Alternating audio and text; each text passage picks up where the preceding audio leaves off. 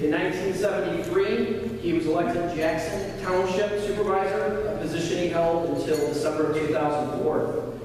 On two separate occasions, Larry served a uh, term as Will County Board, once in 74 and once in 1992. Larry also served as the Illinois State Senator representing the 43rd District from 1977 until 2005.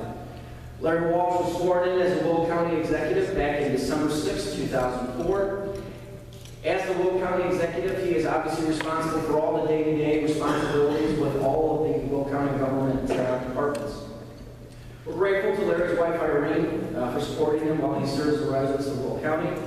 And you should know that in his free time, he keeps busy with 18 grandchildren. Ladies and gentlemen, to uh, introduce uh, Mr. Larry Walsh.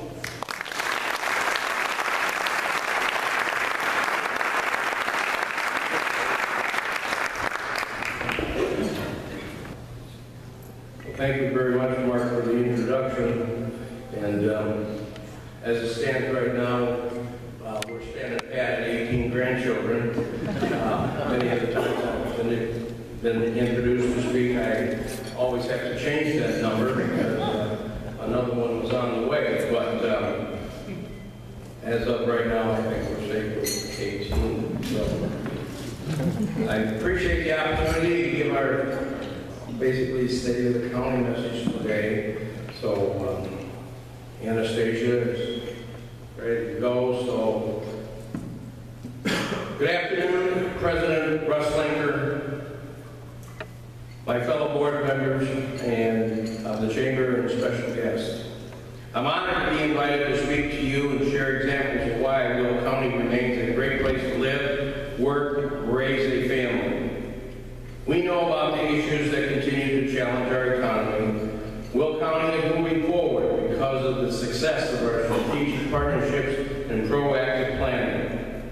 Will County has grown from a rural agricultural community to a nationally recognized county with a global presence. As the largest inland port in North America, Will County has secured its place in the world market. Will County continues to attract a wide variety of corporations bringing numerous job opportunities for our residents. Will County has made smart investments in our future and we are utilizing technology to bring local government to our residents and increase our transparency. Many of our departments and elected officials continue to work to improve their websites to make information and services available online. In my office, we are listing information about the boards and commissions on the county's website to encourage transparency and, more importantly, public involvement. Our land use department has websites focused on sustainability and also citizen engagement. Another success story is our auditor, Duffy Blackburn, whose work with county offices resulted in Will County being named one of the top five governments in Illinois for transparency by the Illinois Policy Institute. Duffy has listed the county's checkbook online and other information such as financial audits, county budgets, and even county labor contracts on his website. Duffy and all our elected officials have done a great job with their commitment to transparency. These types of initiatives highlight Will County, our success, and our cooperative environment. Each year, I present a balanced budget to the county board, and this year was no different. I worked with county board leadership to establish guidelines and then submitted a budget just below last year's level for the overall levy. This year's budget will allow county government to continue providing services to our residents while staying within our means. The total 2013 revenue budget is $466,344,939, which includes all the various special funds across all our elected officials and the departments under my direction. The 2012 revenues are up approximately $5 million, much of which will pay for our increased health care costs. We also have $2 million set aside to fund other post-employment benefits. As all of you know, costs continue to rise, and we are tightening our belts to get our work done. The Will County Board will vote on the 2013 budget at the November 15th meeting. This year's process has been much smoother than previous meetings, and there have been many, or excuse me, there have been few changes to my budget proposals thus far. Despite the difficult economic times, we have continued to maintain our cash reserves based on a policy that we set several years ago. These funds allow us to continue our bills on time, pay off old debt, and maintain Will County's double A plus bond rating. There is still much work to be done, but I am confident if we continue to work together in a bipartisan manner, we will be successful. After only one year in Joliet, Home Depot announced last summer the company is leasing an additional 1.6 million square feet of the distribution center at the Centerpoint Intermodal Center. This new stocking intermodal center will employ 300 people and will complement the nearly 658,000 square feet rapid deployment center uh, for the rapid deployment center to create a combined 2.2 million square feet under roof and more than 650 jobs here in Will County. We are also happy to welcome the additional addition of Clarius Park Joliet. The Clarius partners are investing $70 million to build an industrial business park on Youngs Road near Route 6 and I-55. The four sites within this park will present additional job openings for the residents of Will County. In addition to encouraging a business-friendly environment, Will County is also creating jobs through our highway department. The Build Will program, which began in 2008, continues to grow and is critical to keeping our county moving forward. 72 projects totaling more than $350 million were identified, which have the potential of creating thousands of construction jobs. These jobs are bringing people to Will County who shop in our stores, dine in our restaurants, otherwise stimulate the local economy. More than 20 of these projects are under construction or have been completed. A significant county project occurred at Laraway Road and Cherry Hill Road. Nearly $2 million was invested to reconstruct this intersection and add traffic signals and turn lanes. With the close proximity of this intersection to our county and intermodal facilities, project did a lot to improve safety and traffic flow. After more than a year of study and extensive public involvement, IDOT and their consultants completed the Tier 1 environmental impact studies for the Illiana Expressway. The final EIS, expected this fall, will identify the preferred alignment for the new roadway that has been proposed to improve travel times, reduce congestion, and provide a safe, direct connection between I-55 in Illinois and I-65 in Indiana. After considerable discussion about the need to protect our residents above all else, the county board approved a resolution in favor of the B3 alignment because it would impact the fewest number of homes and businesses.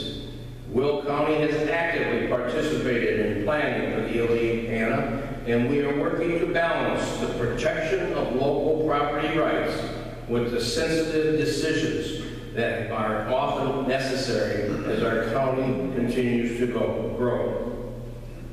In a few short months, the study will narrow the area of focus from a 2,000 foot to a 400 foot corridor.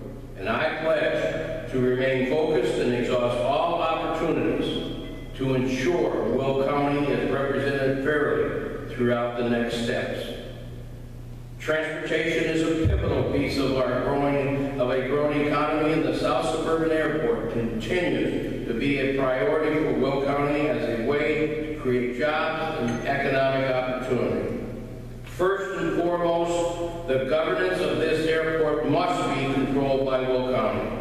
We continue to advance a governance plan with the support of a coalition of elected officials and business and labor leaders from Will, Grundy, Kankakee, and Cook counties. Will County's plan is the only legitimate plan for building and operating the South Suburban Airport. We are pleased with the attention Illinois' recently appointed Secretary of Transportation, Ann Schneider, has shown to this project and our concerns. The governor also recently announced that another piece of the airport layout plan for the South Suburban Airport has been submitted to the FAA.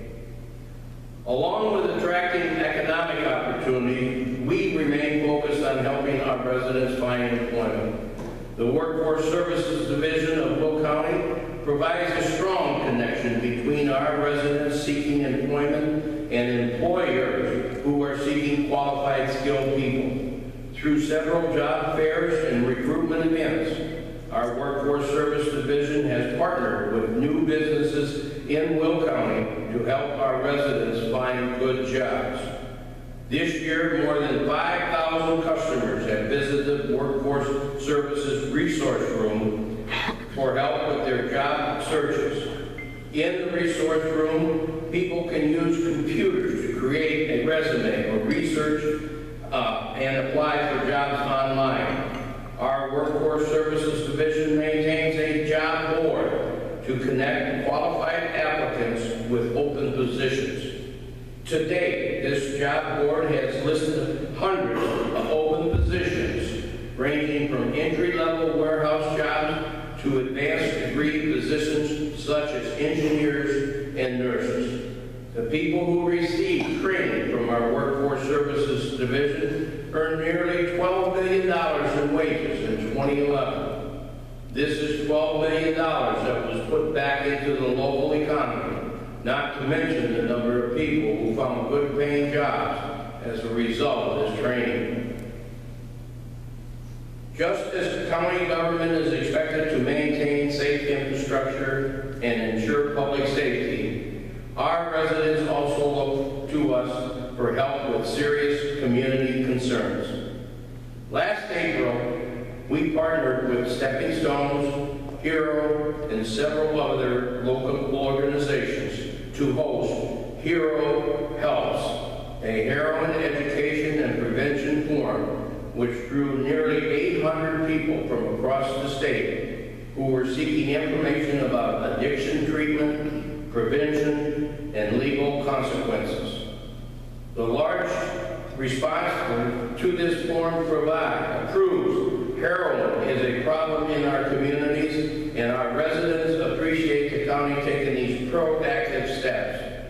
The success of this forum has attracted the attention of the Department of Alcohol and Substance Abuse under the Illinois Department of Human Services, which has reached out to us for help in replicating this model to present in communities across the state. Will County has been fortunate to partner with the Robert Crown Center for Health Education in the development of a heroin prevention curriculum that is being piloted in Joliet Township High Schools this fall.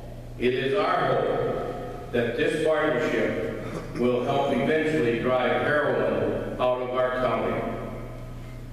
For the third year in a row, Will County was named one of Illinois' healthiest counties by the Mobilizing Action Toward Community Health, or MATCH, study.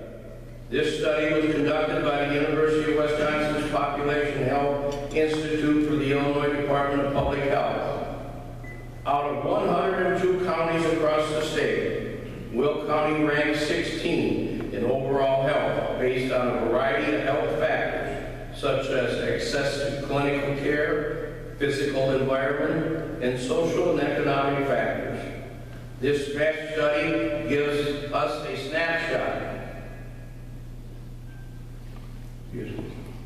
of the overall health in Will County. And because of the dedication of our Executive Director, John Cicero, and his staff, Will County Health Department and the continue to provide quality health care to our residents, which serves as an important foundation for a healthy county. Will County also serves our residents through the Health Department's mobile dental van. Last fall, Will County took delivery of a 40-foot motor coach filled with the state-of-the-art equipment, including a digital x-ray machine. The van has two dental chairs and is staffed by a dentist and a dental, dental hygienist. Through the end of July 2012, this van has served more than 750 Will County residents who otherwise would not have had access to dental care. The van visits 46 sites across Will County each month, including shelters, schools, and daycare sites. More than 77% of these patients were children who received complete dental exams, teeth cleanings, and other preventive procedures. In August, the van staff began performing tooth extractions and fillings. Providing proper dental care to our residents is a service we can all be proud of. Members of the Will County Behavioral Health Department have long occupied key roles to help chart the mental health future of not only Will County but the entire state. This leadership was vital in the wake of the closure of the Tinley Park Mental Health Center. This department played an important part in creating an alternative treatment program for Will County residents. June, one month before the center's closure, a transition program place to provide substance abuse, uh, residential treatment, and outpatient mental health services. Will County will receive nearly $772,000 to fund this traditional plan, which is critical for the approximately 300 Will County residents who receive psychiatric services each year from the Tinley Park Center. Another important strategy has been the formation of the Will County MAPP Collaborative to prioritize public health issues and implement community health improvement plans. Utilizing mobilizing for action through planning and partnership models, this collaboration of the county health department, local hospitals, including Provena St. Joseph Medical Center, Silver Cross Hospital, Edward Hospital, and Adventist Bolingbrook Hospital, and a multitude of our community organizations has created a multi-stage framework to identify existing resources and determine areas of need. This partnership will help create a meaningful action plan to address the future of community health for our residents. In today's socio, socioeconomic climate, where many Americans struggle with medical costs, I am proud Will County continues to be able to offer quality medical, dental, and mental health care for our residents. The success of our Will, of the Will County Land Use Department has also brought national attention to our county. Our neighborhood stabilization program ranks number two in the country and continues to help preserve our communities while helping people realize their dreams of home ownership. From the initial grant of $5.16 million in 2008, the county has doubled the funding and stretched this program farther through the purchase and the resale of foreclosed homes. 75 homes have been purchased, renovated, and resold to qualified buyers. This program has also stimulated economy by adding an estimated $27 million in economic activity and saving, uh, creating many jobs.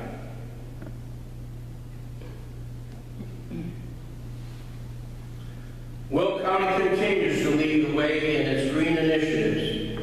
We have received national acclaim for the success of our electronic recycling program. In January 2012, Illinois issued a statewide ban on the disposal of electronics in public landfills.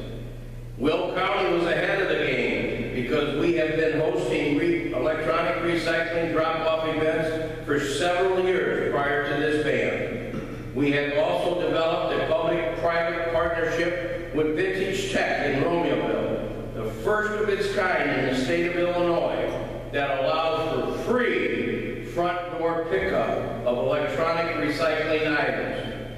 This program was made possible through partnerships between Vintage Tech and industry manufacturers who, with no added cost to local taxpayers. Since we began offering this pickup service in April of 2011, we have collected nearly 1 million pounds of electronics.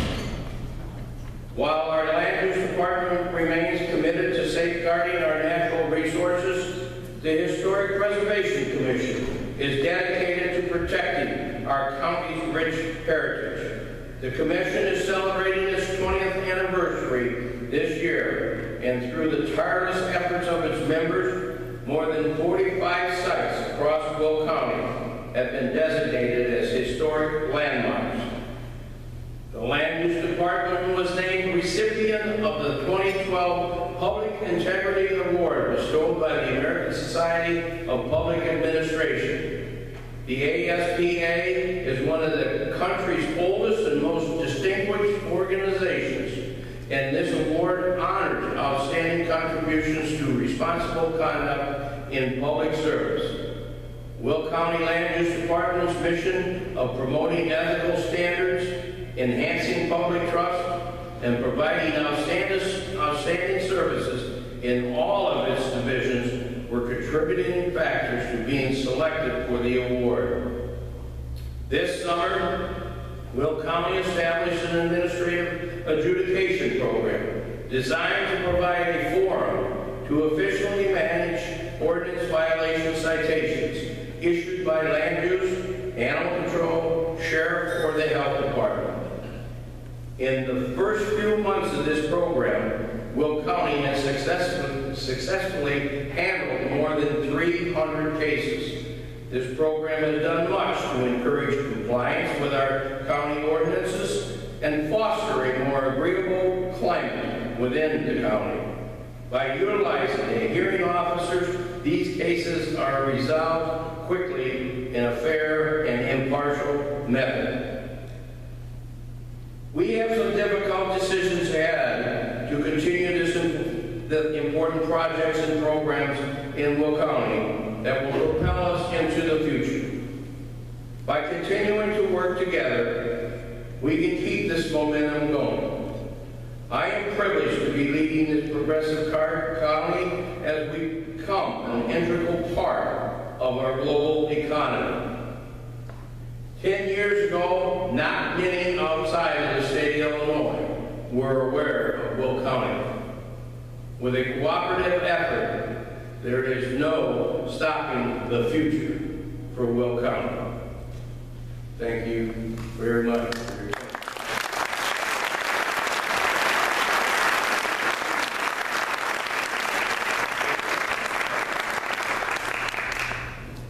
Any, any, if I can answer any questions anybody might have? Yes, George? Larry, um, speaking of the intermodal, it's, it's great news that we're the largest inland port. Um, Does the Land Use Committee have a handle on the disparity of containers in the county and leaving the county? It seems every time you go down, you see a new storage facility, three high, acres and acres of containers. What, what can you tell us about that? Well, um, number one, the two intermodals that are in Will County are under the jurisdiction of two municipalities. One's Elwood and the other one's City of Joliet. And uh, we have in regards to when the, when the intermodals first came about, just as what you're talking about, George, the placing of storage, storage of containers was going to become a problem. And we could just foresee every 40 acre parcel up and down every hard road was going to become basically a storage area or maybe more appropriately a cemetery for these containers. And, and the land use department went to, uh, back right away and created a special use, uh, ordinance to be able to counteract the, the, the idea of just buying land and putting the storages out under an I-1 zoning or an I-2. Uh, now they have to come in and actually give a special use and, and explain thoroughly why they are going to use it, which gives us the authority then to say, uh, basically, that it meets the surrounding area or it doesn't meet the surrounding area. Now, in the Joliet intermodal, um, they have provided a, a large area for future use as a storage area for the containers, which is only appropriate. Much better if we're gonna have these stored, containers stored, be right there where the intermodal is, instead of every piece of property that you see. If you drive up I-55, you see how almost every overpass is a storage area underneath them for containers. The other good facet, the other good thing that has taken place is a lot of these containers are going back to their original sites in Korea, China, Southeast Asia, Laos, wherever, Vietnam, filled with American grain and feed feedstuffs. DDGs, distilled dried grain, used in uh, making of ethanol, are filling container after container and, and, and millions and millions of dollars worth of sales are, are going back um, to the original site filled with our grain. Anything